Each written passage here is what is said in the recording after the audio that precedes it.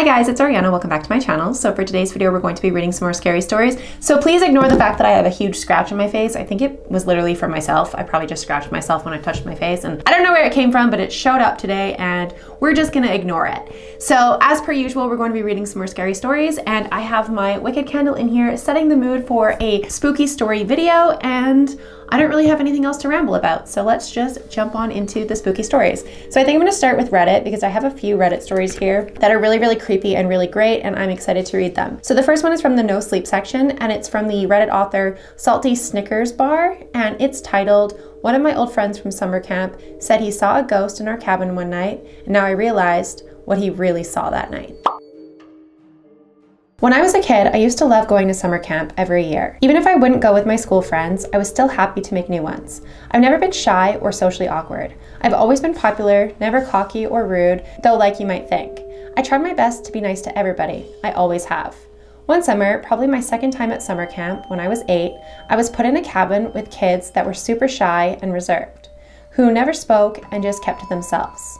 The boy who I shared a bunk with was about my age, so I tried to make conversation with him over the first week. I eventually found out his name was Norman, and he seemed almost hesitant to talk to me over that week. But after he started speaking to me, I realized he was a great kid, and funny too. He would never shut up when he was talking to me, and we did everything together. He was loud and crazy. Then he just stopped. Out of nowhere, he just stopped talking, like he wouldn't speak to me or anyone else for that matter. I asked him, Hey, buddy, what's the matter? And he would just shake his head and walk away. I was disappointed that I had lost my friend, but I thought it was best not to dwell on it and just try to make new friends. If he doesn't want to talk, who am I to force him? I got along pretty much fine without Norman, and things seemed to be going okay. One night, I woke up in the middle of the night, like around 4 in the morning, unable to get myself back to sleep. I got up to grab some candy I had hidden in my bag, and it was pretty dark, so I couldn't see anything. I thought they must have just slipped to the bottom of the bag, and there was no point in searching, so I gave up. As I turned around, I saw a figure standing upright in Norman's bed. Startled, I jumped back in fear and took out my flashlight. I don't think I'll ever forget the look on his face. His eyes were bloodshot, and he was hyperventilating. I climbed up onto his bed and asked him if he was okay. He said, I saw something. I see it every night. It won't leave me alone. It's going to kill me. My little sister would wake up crying most nights, but they were nightmares. So I hugged him and told him it was probably just a dream and he'd be fine. This became a routine where he would wake up every night saying a person was in the cabin staring at him with a knife, and they would get even closer every night. He would usually wake us all up with his hysterical crying, and nobody in that cabin ever got a good night's rest. When camp was finally over, Norman left to go home, and nobody really saw him again. I forgot about the story because it seemed stupid and was just about a troubled kid with nightmares. I wish I knew what was happening sooner. My husband is a huge fan of crime related stuff. He watches a certain documentary which discusses a murderer from each time period, and the episode he was watching was about a 1980s killer. I was bored, so I sat down to watch it with him. When I saw a picture of a little boy who was ginger and smiley, I'd recognize the face anywhere. It was Norman. The narrator went on to discuss how he first encountered this murderer at the summer camp and would come to him every night. A month after he left, he was found dead in his bedroom, stabbed by one of the camp leaders who was sent to jail about 13 years for stalking and murder. And that's how they ended the story. Oh my god, that's so sad. That has such a sad ending and that's so fucking creepy and oh my god. Jesus Christ, I don't even know. I'll have to put trigger warnings at the beginning of this video because that's fucking terrifying. And oh my God, I don't really read a whole lot of true crime or anything like that. This is a no sleep story, so I don't believe it's a true story. But true crime terrifies me just because people are so fucking weird. Like ghosts and goblins and demons and all that stuff, it's scary, but like, it's not quite as scary as like humans. I don't know, humans are just awful. so thank you so much to Salty Snicker Bar for allowing me to read your story and let's jump into the next one. So this one's from the no sleep section again and it's from the author Nutella Novella and it's titled I think my roommate is a vampire. This sounds idiotic, right? Everyone knows vampires aren't real.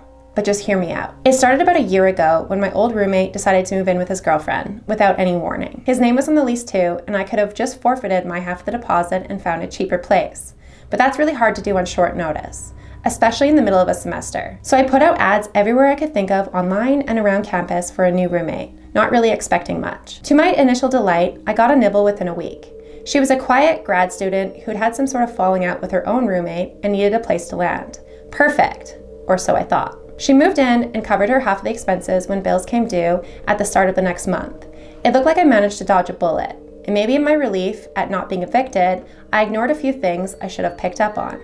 You see, I almost never saw my roommate. She stayed locked up in her room most days when I was home, though I occasionally bumped into her watching something on our shared TV late at night. Her explanations were reasonable. Night shift work, as a medical intern, sleep schedules, it all seemed legit. She was really weird about mirrors, though. She doesn't have a single one in her room, which is odd for a girl. Nor does she ever keep any food in the fridge. She doesn't have any cookware. She never has friends over. All of these things I could write off somehow, if it weren't for the dreams. You see, I keep having this reoccurring dream, about twice a month. I wake up with her perched on the corner of my bed. In these dreams, the room is utterly black. I sleep with blackout curtains because of an obnoxiously bright street lamp outside my window. But somehow, I know she's there. I never say anything to her. She just slithers under the covers with me, and her body is cold. Then she talks to me in a low voice, speaking words I can never seem to remember in the morning, and she kisses my neck. I get that cold feeling and it explodes through my whole body. Then I wake up. I'm always a little groggy and lethargic after I have one of those dreams. Thirsty too, like working in the hot sun, sweating like a pig all day, thirsty. And the chronic fatigue has only gotten worse. After I fainted at work one night, my boss insisted that I make a doctor's appointment. Guess what they found? I'm anemic. My family has no history of anemia, none. The doctors can't explain it. They just put me on a regime of iron supplements and called it good. I've tried to ask her to move out, but whenever I talk to her, I always seem to forget the purpose of the conversation and get sidetracked on something she wants to talk about instead. And then I go to bed having forgot about the whole thing until the next time I have one of those dreams. I think I might be losing my mind. Either that, or my roommate really is what I think she is. I want to move out, I've even packed all my stuff up a couple times, only to wake up the next morning with everything back in its place, wondering if I only dreamed about packing. One night I just got in my car and drove as far as I could before sleep got the better of me and I had to pull off the highway. The next morning, I woke up, parked at the curb outside my apartment. I'd write that one off as a weird dream too, if it weren't for the credit card statements that has me getting gas in a town about three hours drive from where I live on the night in question. That could just be credit card fraud except I know it's not. I've tried telling people about what's going on, but no one ever believes me. Family, friends, they all think it's some kind of joke or hallucination on my part, especially after they meet my roommate. Everyone likes her, even though she's weird. I even like her, though I'm scared to death of her. I find myself waking up in the middle of the night lately with this insane urge to go out and talk to her. I know where she'll be. I can hear the TV turn to low volume in the other room. Some nights I succeed in resisting, but most times I end up getting up and sitting with her until near dawn when she heads to bed. It's gotten to where I can't force myself to tell people about my fears anymore. Even running this all out on an anonymous forum is hard to do. When I think about including my personal identity details, though, I can't. My fingers simply refuse to type that information out. I don't think I'd be able to write as much as I have, except that I think my feeble attempts to get away amuse her somehow. I can't escape her anymore. I need help, but I know no one is going to help me. I feel like I should just accept my fate. One of these nights, I'll be the one perched on her bed, and then it'll be over. I know it somehow. I won't want to escape then. I'll be completely hers until I'm dead, or maybe worse. I've written my story out about three times now, and each time I found some reason to delete it rather than posting. I'm not going to hit discard this time though. I won't do it. If you're reading this, please try to find some way of helping me. I don't know how you'd do it. I can't know. If I actually believed that someone could, I don't think I'd be able to write this much. I want to delete it, but I'm going to hit post before I talk myself out of it again. And that's how they ended the story. So obviously that's a fictional story. Like there's no such thing as vampires, I don't think. I mean, if there's any vampires watching this, let me know. I would love to be young forever. but that's a really, really good story. I really liked it. It was really well written. It's really fucking creepy. And I just, I liked it. It was a really fucking creepy story. So if you have any idea how to help this person, uh, leave a comment down below. If you think it's real, leave a comment down below because that's fucking terrifying. But thank you so much to Nutella Novella for allowing me to read your story. That is so fucking creepy, and I loved it. so this one's from the True Scary Story section, and it's from the Reddit author Me Likes Frogs, and it's titled There's Someone in My House. I've said this a lot before, but this time I actually mean it. I was relaxing in my bed for a bit before deciding to get up to use the bathroom. All of my family is asleep, and they're early to bed, early to rise type of people. All lights were off when I got up, so I bring my phone as a flashlight. I cross the hall to the bathroom with no problem. As I'm washing my hands, I pause, hearing random clicking. Two quick clicks, right after each other, then a short pause. They get faster while still being spread out. It's definitely human, or something close to a human. It's like a clicking sound one might make flicking on and off a light switch if they're bored, or in this instance, the sound of the lamp in the living room being turned on and off, or so I think. I can't tell where the sound is coming from, so I finish washing my hands, turn on my light, and march out of our hall bathroom and search the house. Nothing. Odd. I'm a bit unsettled and disturbed. I go back to my room. I finally got comfortable after doing a quick sweep of my room I moved to lay down as I have to get up early tomorrow. I scrolled around on social media for a while when I heard the very unmistakable noise. Absolutely nothing else can make this sound. It's at the shower curtain getting swept back. I stop, now fully alert, and listen. I haven't heard the footsteps of anyone or hear something hit the bottom of the shower.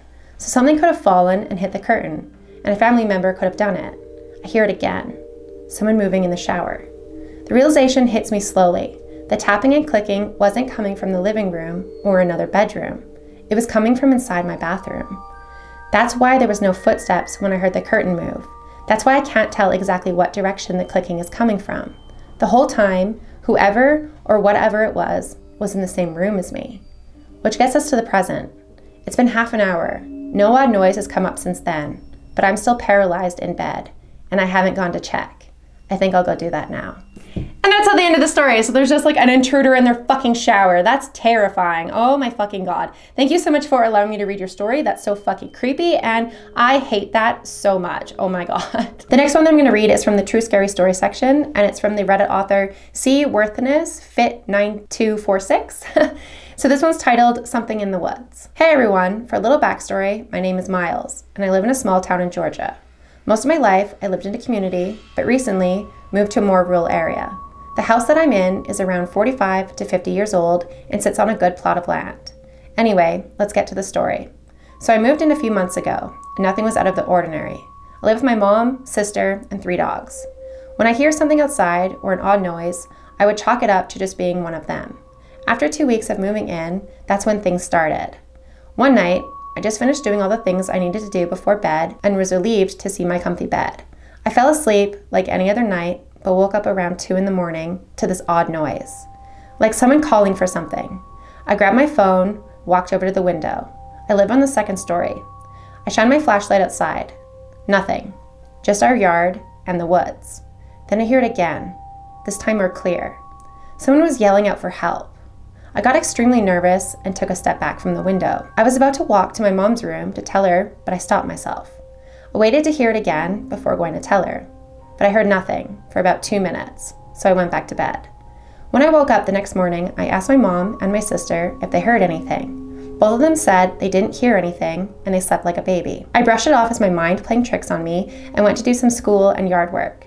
Night comes, and I'm letting my dogs run around in the backyard and have some outdoor time before it was lights out. I was playing Clash of Clans on my phone when I realized I didn't hear my dogs playing or walking around.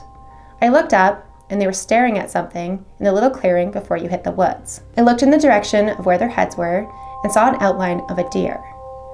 This deer was on its four legs, but just staring at me. I told the dogs to come in, and they didn't move a muscle. I kept yelling and yelling until my mom came outside to ask me what the issue was, and I told her to look in the direction of the deer, but there was nothing there. The dogs were still staring at something, so I just pulled them inside and locked the door. When I looked out the window, I saw it again, but this time it was closer. I locked every door in the house and headed for bed. I woke up around 2 a.m. again to someone yelling, but this time I wasn't the only one who heard it. My mom sent me a text saying, Is that you? To which I replied, No. I listened very carefully for the yelling. This time, it was saying something. Boone is the name of my youngest dog. I was shitting bricks and ran to my mom's room to talk about what the fuck was going on when I froze at the door. I heard something walk outside under my window. I didn't move at all and was basically pissing myself thinking someone was about to break in. It's probably a good time to mention my sister was at a friend's house for the night, so it was just me and my mom and the dogs. Whatever was outside walking around didn't sound human. It sounded like a deer or a dog walking around. My dogs sleep in my mom's room, so I thought it was a deer that I saw earlier. Then the most terrifying thing I could think of took place. The sound of this thing was nothing like I've ever heard before. I ran to my mom's room, and she was already on the phone with the police. Stupidly, I walked to my mom's window, opened it, and said, Fuck off, asshole. I heard fast and heavy footsteps run from my side of the house to my mom's side. I closed the window and I heard this thing scratch at the walls of the first floor. Then the police sirens filled the air and this thing bolted into the woods. I looked out the window and I saw it, a fucking deer, running on two legs. The police knocked on our door and got our statements. We walked around the house and saw footprints, scratches on the wood and windows, and even a piece of an antler. When the cops left, me and my mom stayed up until light broke in the sky. I'm very familiar with, I'm not going to say the name, it's SW, but never thought they were real. This was only four days ago, and I still hear this thing at night. If anyone can help me, you're more than welcome to reply. So they saw, I'm not gonna say the name of it because you're not actually supposed to say the name of it. So they saw an SW in their woods and it's fucking terrifying. And this is in the true scary story section. So this actually fucking happened. So that's fucking terrifying. Oh my God, I hate that so much. I hope you guys stay safe and I don't have any way to help you. But if anybody that's watching this video can help them, please let us know in the comment section down below because that's fucking terrifying. Oh my God. All right, so thank you so much for allowing me to read your story. That is so fucking terrifying. And now we're going to move over to Instagram. I do have a couple Instagram, well, by couple, I mean I have nine unread stories from you guys that I need to read and a bunch of emails to read. So I'm trying to get through everything as fast as possible. And thank you so much for sending me your guys' stories. I'm so overwhelmed in like the best way possible. So I'm just gonna start with the latest one that I've got, like the longest one that's been sitting waiting. So I'm not going to read the names of the Instagrammers that are sending me their stories. I'm just going to say anonymous and here we go. Hey, I came across your YouTube channel at the end of September, start of October, and I listened to your videos while doing schoolwork. I have a few paranormal stories, and if this gets put into a video, I hope you enjoy it. I'll be more than happy to send in some more. Also, the makeup in each video Chef's kiss. Thank you so much. You're so sweet. So I live in a flat. I'm from the UK, by the way, so my names for certain things may be different from what you say in the US. I am actually not in the US, I'm in Canada, so keep that in mind. So my flat, before it was a flat, used to be a care home. So that means some elderly people died here and they could possibly still be attached to this place. At the time that I moved into this place, I was maybe six years old, and ever since, I've started to listen to paranormal stories and learnt that younger kids are more likely to encounter spirits than adults. I'm the eldest sibling, so I had to kind of do what my younger brother wanted to do to make him happy, so that he didn't kick up a fuss. So he loved Transformers, and I had to watch all of the movies. I'm not complaining, I ended up loving the movies. But, anyways, I was sitting in the living room watching the TV, and a scary advert for a series came on, and it just shocked me, so I was watching it. My living room and my kitchen is an open concept. There's a wall that blocks the door to the living and the kitchen, so I'm watching this advertisement and I see from the corner of my eye something run, but it wasn't fast enough because I could literally turn my head at a slow pace and see it run past. It looked like the yellow Transformer Bumblebee. I know it's stupid. I ran into the corner over my fridge was, and I remember being so confused, and I wouldn't go near it for days. Another time, I was lying in my bed, and my brother and I share a room. At the time, I was too young to have a phone, and I didn't know the time. I remember waking up in my sleep and feeling very uneasy, like something wasn't right. I was trying to fall back asleep, and I remember I was on my side, sitting up, and my duvet came off and my side was exposed, and I felt something grab my waist, like how someone would do if they were scaring someone. I remember that I screamed and then really realized what had happened, so I looked at my brother, only to find him fast asleep. I never told anyone about these experiences, I just kept them to myself. And that's how they ended the story. So if you have any more stories that you want to share with us, please send them to me. That's so fucking creepy. You just felt something like grab you in the middle of the night. That's so fucking creepy. I don't really have anything to say about the Transformer one. That just kind of sounds funny that you just like saw it run past you in your house. Like sounds like a spirit just like messing with you, but that's so fucking creepy. And thank you so much for sharing. I think I'm going to read one more story and then we will end the video because I've been reading for like 30 minutes. so this one is another Instagram story. Hi, I came across your channel a few days ago and I have been binge watching since. I felt inspired to share a few stories of my own. Also, I love your content. So maybe about five years ago, my family moved into a new house. This house was about 160 years old, and the seller did disclose to us that a little girl, an old man, and a young woman have previously passed away here. We thought, okay, but didn't really think much of it. The first night we stayed at the house, I slept in my room. My room was the farthest down the hallway from everywhere else where they slept. So that night, I closed my eyes for what felt like 10 minutes and was woken up. Or I thought I was awake, except I couldn't move or speak. All I could do was move my eyes. When I opened my eyes, I looked at my closet door, which was open, and all of a sudden, a little girl with a white dress and a teddy bear began coming out of the closet. I was terrified. But what was more terrifying was that her eyes were completely pitch black, and the only expression on her face was with her mouth completely wide open that looked like a deep dark hole. I began to squirm and I was stressed because all I wanted to do was run away, but I couldn't. Every time I blinked, she got one step closer. Until finally, she was right in front of my face, screaming. I woke up. I was sweating, crying, and I didn't sleep for the rest of the night.